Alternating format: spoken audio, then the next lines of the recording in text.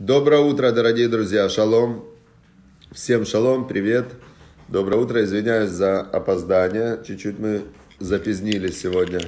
На украинском опоздали, это запизднились. Вот так вот, да? Люди как на разных языках разговаривают и какие разные звуки издают, чтобы понять одни и те же э, слова. Late. I am late. Я опоздал. А на украинске запизднился. А просто просто опоздал. Самый простой язык. А на иврите я опоздал и харти. Цат и харти. Слиха аль... Алихур. Жена мне подсказывает. Слиха аль-ихур. Представляете, тоже как-то звучит странно. Слиха аль-ихур. Да. Хорошо, дорогие друзья. Да, скоро шаббат, поэтому начинаем сегодняшний урок, чтобы максимально его активно, быстро пройти. Значит, мы сегодня заканчиваем восьмую главу. Был у нас отрывок 35 мы закончили в тот раз, что тот, кто нашел меня, нашел жизнь.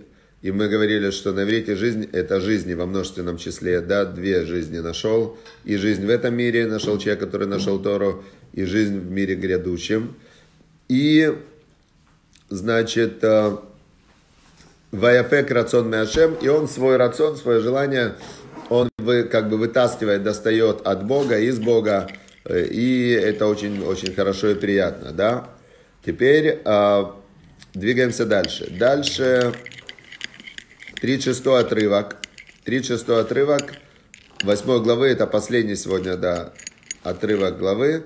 Значит, Вехоти, тот, кто грешит против меня, хумес навшо, он на самом деле грешит против своей души. Это очень сейчас мы разберем уникальная такая вещь. Хумес навшо, коль мисанай аву мавет. Каждый, кто ненавидит меня, э, любит смерть. Очень такой э, не, как бы не то чтобы непонятный отрывок, а отрывок, который очень много разъясняет нам. Значит, что такое грех? Давайте разберемся. Что такое грех? Вот добро, зло, грех. Значит, э, вообще непонятно, что такое грех. Вот если возьмем простого человека. Берется простой человек, который смотрит на окружающий мир, и он думает, что такое добро, думает он. Добро это когда у меня все хорошо. Это он, это он как бы, он, это он ощущает как добро, и он думает, отлично, вот, э, значит, э, выпьем, выпьем кофе. Да, думает человек, классно. Это добро. Теперь, значит, выпивает он чашку кофе, вторую чашку кофе, третью чашку кофе. Ему все это добро, добро, добро, добро. Бах потом и умер. Интересно, что если выпить, я читал, 2 литра кофе подряд, крепкого кофе, умираешь от, э, от избытка кофеина в нервной системе. Ну, то есть 2 э, литра, я читал, надо выпить кофе крепкого, чтобы э, создать ситуацию, при которой, представляете, то есть вроде бы безобидный напиток, вкусный, вроде бы это добро, 2 литра и нет человека. Так, секундочку, это Теперь, если мы можем глубже копнуть. Человек идет по улице, смотрит, кто-то купил себе кофе. Он, значит, думает, ну, кофе это добро, одну чашку уж полезно, полезно, и забрал у этого человека его кофе. Он ему говорит, слушай, ну, я же для меня важнее, чем ты. О, то есть, по, понятное дело, что кофе я люблю, кофе это добро. Значит, все. Тот второй ему говорит, так нельзя у меня забирать. Это же мое добро. Тот говорит, а кто сказал, что твое добро? Где это вообще написано, что это твое? Кто вообще разделил твое, мое, там, э, знаю. Говорит, добро это, я хочу кофе твой забрать. Тот говорит, хорошо. Берет лопату, и его лопатой и убил. И говорит, «Э, а что, он же у меня кофе забрал. То есть, э, все в этом мире очень относительно. То, что одному кажется добром, например, воюют две страны. Одна страна говорит, мы, значит, мы правы. Вторая страна говорит, нет, мы правы. И одни убивают других э, про за мир, правду.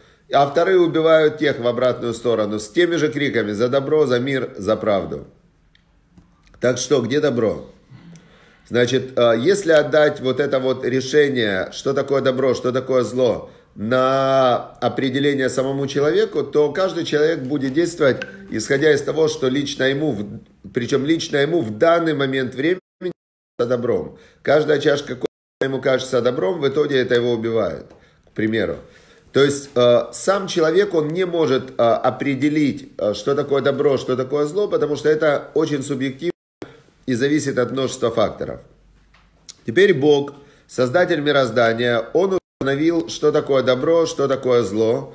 И он, э, так как он создал человека, он создал единую систему.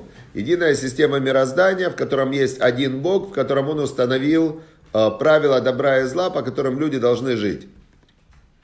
Теперь дальше написано «Вехоти хомес навшо». Тот, кто грешит. Грешит это нарушает правила Бога. Он э, делает вред своей душе. То есть Богу вред принести.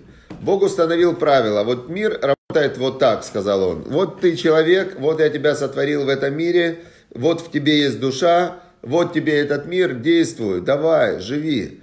Теперь от твоих действий зависит то, что ты будешь делать. Когда говорится, Бог наказывает, наказывает, Он создал систему, например, вот мы возьмем пример Израиль и там Палестина, к примеру. Значит, если Хамас стреляет ракетой, то в ответ летит ракета. Это наказание или это реакция? Или же человек э, берет и, я не знаю, идет, э, переходит дорогу на красный свет, его сбивает машина. Это наказание за то, что он шел через э, дорогу, или это следствие того, что он нарушил правила дорожного движения? Здесь написано в 36-м отрывке, что тот, кто грешит – он грешит, вредит душе своей, то есть он против себя грешит. И вот тут очень важный момент такой. Есть за, за разные преступления смертные казни. Например, за прелюбодеяние. Что такое прелюбодеяние? Это когда замужняя женщина изменяет мужу. А, то и женщину, и того, с кем она совершила прелюбодеяние. По Торе так. Или, например, э, за идолопоклонство смертная казнь. Человек, который служит идолам, смертная казнь. Написано даже сейчас в недельной главе а, Махашифа Лотихае. Колду, колдунью не оставляй в живых. Колдунью надо убить. Что это такое? Разве это добрый Бог? Разве это любовь? Разве это за что Бог хочет наказать бедную колдунью? Или там за что? В чем, в чем ответ? В чем ответ? Значит, ответ в следующем когда человек грешит и получает за это следствие наказание, это мы привыкли называть наказание, он получает следствие, которое ему делает э, больно, плохо там и так далее, иногда даже так больно, что его убивает смертная казнь. Это идет исправление его душе. Идет исправление его душе. То есть на самом деле то, что он грехом своим согрешил, и он сделал вред своей душе, то Бог в этом и его любовь.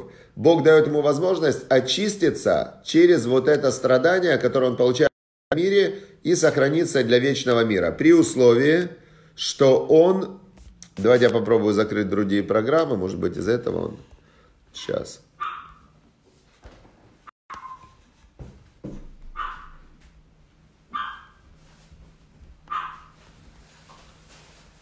Вот, может быть, сейчас будет слышно лучше, я надеюсь. А может это я заикаюсь сегодня. Просто не звук.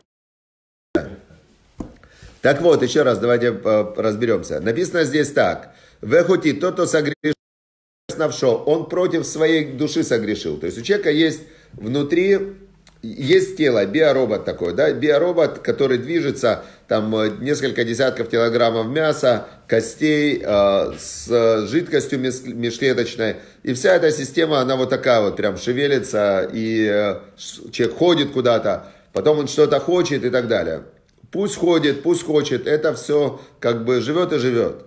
Теперь есть, э, теперь есть у человека есть у человека почему же плохая связь. Но я не буду отключаться, надеюсь, что потом он загрузится э, загрузится и будет лучше видно. Так вот, еще раз услышьте. Значит, есть у человека есть, э, есть э, биоробот, да, это тело. 7, у меня 80 килограмм мяса, костей и межклеточной жидкости. Теперь, э, теперь дальше. Дальше есть у человека внутри то, что называется нефеш, это животная душа. И есть божественная душа. То есть есть божественная душа, которая соединена с Богом.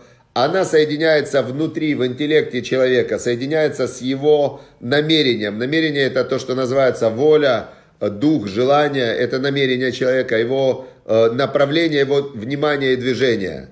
И теперь дальше есть у человека нефеш, это животная душа, которая это его телом управляет, его вот этими 80 килограмм костей и мяса. Теперь э, вот эта вот божественная душа, она божественная, она как бы, Бог, Он вечный, Он всесильный, Он э, там, Бог, создатель мироздания, то есть Он чистый, там не может быть греха. Теперь дальше здесь у человека есть интеллект, и он выбирает, куда ему двигаться. Идти по системе Бога, добро, зло, заповеди делаю, запреты не делаю. Или ему идти по системе какой-то другой. Там э, система бывает свои желания или желания других людей. В принципе, есть три системы. Божественная система – это Тора. Моя система – это мои сиюминутные желания, то, что я сейчас хочу. И третья система – это система людей, которые меня заставляют что-то делать. Выбора другого нет. То есть, понятно, да? Дальше у человека есть хороший вопрос, вот Леся Маронец задала. Мысли, мысли человека – это его. Мысли человека, написано, прям мы уже учили, много мыслей в сердце человека, а замысел Бога, он исполнится. То есть реальность – это уже то, что действие, это все Бог, божественная реальность. То есть то, что из мыслей пошло пошло уже в реальность, это уже вот реальность этим Бог управляет. Она состоит из множества векторов направления, то, что разные люди хотят делать и решают делать. На их взаимодействии появляется внешняя реальность. Теперь нас волнует вопрос, по какой системе ты живешь, по какой системе оценивать твои действия и поступки.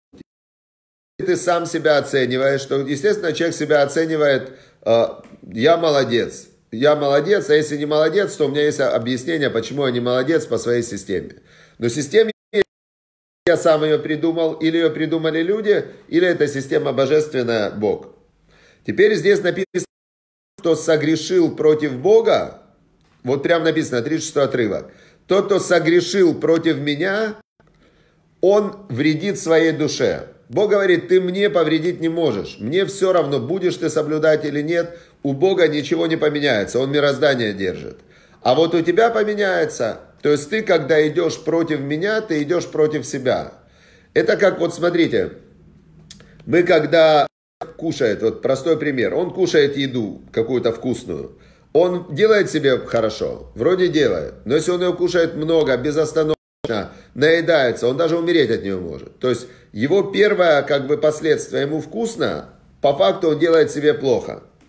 Теперь, когда человек идет против Бога, кажется, что он делает себе хорошо, когда он не соблюдает шаббат, когда он не соблюдает заповеди, когда он э, делает там, ну, обычно Богу идут против Бога в вопросах питания, секса и, то есть, когда есть какие-то запреты временные, и человек говорит, нет, я хочу есть то, что я хочу, спать с тем я хочу и делать то, что я хочу. В этот момент он вредит душе своей, и получается дальше продолжение. В коль, коль мисанай, все, кто ненавидят меня, а аву мават. Все, кто любят меня, любят, Бог говорит, все, кто ненавидят меня, любят смерть. Теперь вот здесь вводится еще параметр такой любовь-ненависть. То есть любовь-ненависть это эмоциональные два проявления. А, любовь, как мы говорили, само слово любовь это на иврите любовь это то же самое почти слово по числовому значению – как слово «один». То есть любовь объединяет. Любовь объединяет, если я кого-то люблю, то с тем, что я люблю, я объединяюсь. Например, я люблю кофе, я пью кофе, я с ним соединяюсь. Я люблю там весну, я жду весну, хочу быстрее, чтобы была весна, чтобы с весной соединиться. Я люблю свою жену. Значит, что это значит? Я хочу с женой быть вместе. Да? То есть любовь это то, что соединяет. Теперь ненависть, что такое? Ненависть это то, что наоборот, другая эмоция, разъединяет. То, что я ненавижу, я хочу, чтобы или от этого отдалиться максимум, чтобы меня не было с этим, или я хочу это даже уничтожить, чтобы его не было, того, что я ненавижу, в принципе. Чтобы с ним даже не было возможности сблизиться вообще, хоть когда-нибудь. Теперь говорит нам Бог вот здесь, в 36 отрывке 8 главы, «Все, кто ненавидят меня, любят смерть». То есть, получается, Бог – это жизнь, это источник жизни, Отсутствие Бога – это смерть. То есть темнота, нет такого понятия, как темнота самого по себе. Темнота – это отсутствие света. Есть свет. Там, где есть свет, то все. Свет – это реальность. Темнота – это не реальность. Темнота – это отсутствие света. Нету света – стало темно. Есть свет – стало светло. Свет – это реальность, темнота – это, это нереальность. Свет – это сила, темнота – это отсутствие света. Теперь говорит нам Говорит нам царь Соломон от имени Бога, от имени Торы, Тора это как мысль Бога, что тот, кто ненавидит меня, получается, тот, кто ненавидит Тору, он любит смерть. Тот, кто ненавидит Бога, он любит смерть. То есть человек или он растет в духовном плане, или он падает. Стоять невозможно. Это как ледяная горка. То есть как только ты останавливаешься в духовном росте, оп, ты скатываешься вниз. Все, мы закончили восьмую главу. И у нас есть еще...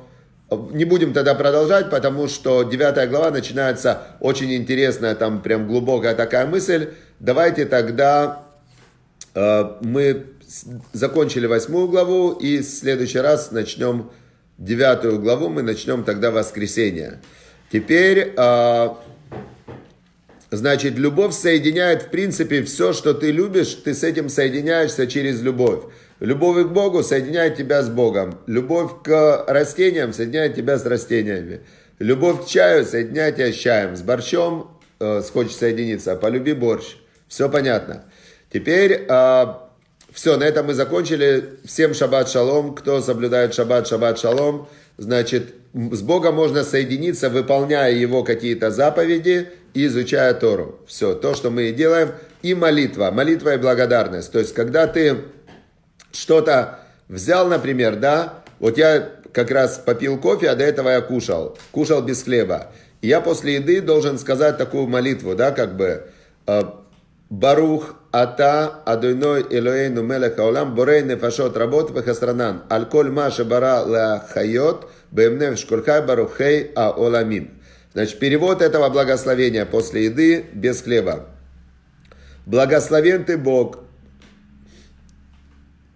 Благословен ты Бог, всесильный наш, царь мироздания, царь, правитель мироздания, Боре Нефашот работ, который сотворил множество нефашот, множество живых существ. Вехисранан. И он сотворил для них всех то, то, что им не хватает. Это очень глубокая мысль. Благословен ты Бог, царь вселенной, который сотворил все живые существа и все, что им не хватает. Аль-Коль Маши Барала Ахайот, за все, что ты сотворил, чтобы им давать жизнь. Барухе Оламим, благословен ты, оживляющие миры. Вдумайтесь, какая, какая крутая тема. То есть Бог так сотворил систему, Он сотворил живые существа, у каждого чего-то ему не хватает. И Бог сотворил все то, что им не хватает, чтобы они могли дополнить свое нехватание вот это. И получается, что вот я, мне не хватало еды, я поел, и мне стало хватать. И я говорю, благословен ты Бог, оживляющий миры. То есть он так мудро все сделал, что система сотворена, где каждому что-то не хватает, и он каждому дал то, что ему не хватает. И в этот момент, когда мы получаем то, что нам не хватает, мы благодарим Бога и просим Его. И тут очень крутая тема, очень важная. Вот сегодня я как раз на эту тему задумался – чем больше мне не хватает, человек может себе создать такую нехватку в мыслях. И он молится Богу, дай мне то, что мне не хватает. Но по факту, если бы человек замечал, ну вот, жил бы в реальности, то ему не хватает очень мало. Человеку не хватает очень мало, это очень легко получить. И легко жить в состоянии постоянного наслаждения жизнью. Удачи, успехов, всем пока.